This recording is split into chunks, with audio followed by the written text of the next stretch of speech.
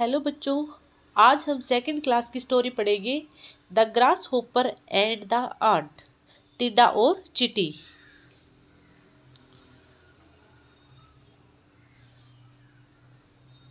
Once there lived a lazy grasshopper एक बार एक एक आलसी टीडा रहता था। He didn't like to work उसे काम करना पसंद नहीं था। All day long, he sang songs and played in the warm sunshine. सारा दिन वह गाता रहता और गर्मी में बजाता रहता। He he look at me I am as happy as can be हे देखो मुझे, मैं जितना खुश हो सकता हूँ। The grasshopper laughed at the hard working ants as they work day and night grasshopper मेहनती चीटियों पर जो पूरा दिन और रात काम करती रहती थी, हंसता था। We are storing grain for the long winter ahead हम आगे आने वाली सर्दियों के लिए अनाज इकट्ठा कर रही हैं।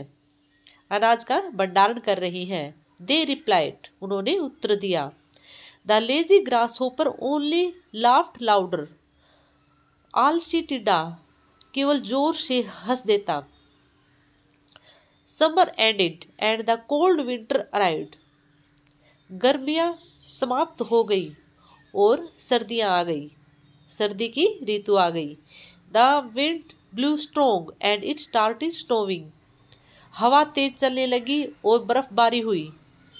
The grasshopper now began to worry grasshopper को अब चिंता होने लगी। There is no food to eat no grass no flowers or leaves उसके पास कोई खाने के लिए भोजन नहीं था, घास भी नहीं था, नो ग्रास, घास नहीं था। फ्लावर्स, आर लिव्स, फूल और पत्ते नहीं थे। It can't see even the tiniest fly or worm. मुझे तो कोई छोटी कीड़ा, मुझे मुझे कोई छोटा सा कोई मक्खी या कीड़ा भी दिखाई नहीं दे रहा।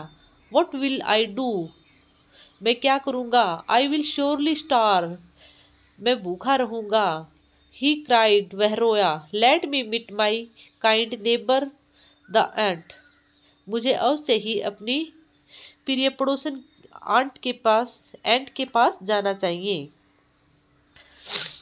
Let me meet my kind neighbour the ant मुझे अपनी प्रिय पड़ोसी एंट से मिलने दो। The grasshopper remembered how the hard-working and had stored away grain for the winter. Grasshopper को याद आया कि कैसे मेहनती चीटियों ने आगे सर्दियों के लिए अनाज इकट्ठा किया।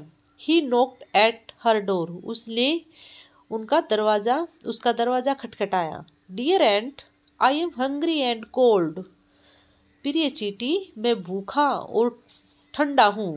I have nothing to eat मेरे पास खाने के लिए कुछ नहीं है। Please can you give me some food क्या आप मुझे कुछ खाने के लिए दे सकती है? The ant shook in anger lazy one what were you doing all summer चिट्टी गुस्से में हुई। बोली, चिट्टी the ant shook in anger चिट्टी को गुस्सा आया। बोली, आलसी what were you doing all summer पूरी गर्मी की ऋतु में आपने क्या किया? You are only singing and dancing तुम केवल गाना गाते रहे और नाचते रहे। You should have thought of the cold winter month ahead तुम्हें आगे आने वाले सर्दी के मौसम के बारे में सोचना चाहिए था। गो अवे चले जाओ। She slammed her door shut और उसने झट से अपना दरवाज़ा, पटक के अपना दरवाज़ा बंद कर लिया। The lazy grasshopper was left as hungry as before, और आलसी ग्रास होपर पहले की तरह भूखा ही रहा। न्यू वर्ड्स देखते हैं। हार्ड वर्किंग मेहनती, अराइव्ड, पहुँचा, स्टार, भूखा, स्लैम्ड, पटकना। Thank you. आज की वीडियो में इतना ही।